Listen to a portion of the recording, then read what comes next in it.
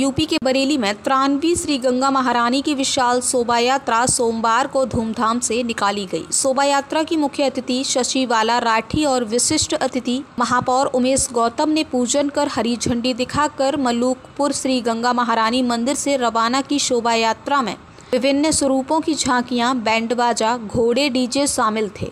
महापौर उमेश गौतम ने बताया, बरेली में महारानी की त्रानवी शोभा यात्रा निकाली जा रही है। ये शोभा यात्रा है, यानी कि आज़ादी के पूर्व से भी यह शोभा यात्रा निकलती चली आ रही है और गंगा महारानी का आशीर्वाद ही है कि बरेली तरक्की कर रहा है। लगातार बरेली पर माता गंगा का आशीर्वाद है कि बरेली के अंदर कितनी भी तरक्की है, पिछले चार वर्षों में देख रहे हैं। वो सब गंगा महारानी का आशीर्वाद है, उनके जो अध्यक्ष हैं, जो सचिव हैं, सभी लोगों से विनम्र आग्रह है कि सद्भाव के साथ जैसे शोभा यात्रा हमेशा निकलती है, ऐसे ही निकाल कर बरेली वालों के ऊपर माँ गंगा महारानी का आशीर्वाद बनाए रखें।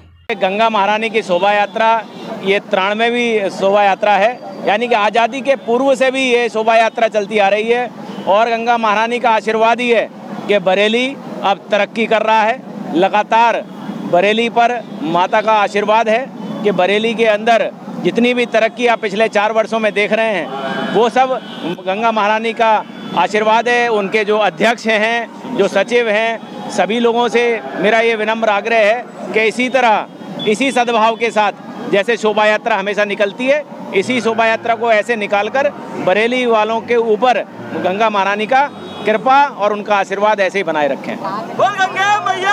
पूरे शहर में घूमेगी। पूरे शहर में घूमेगी। रात को इसका समापन होगा।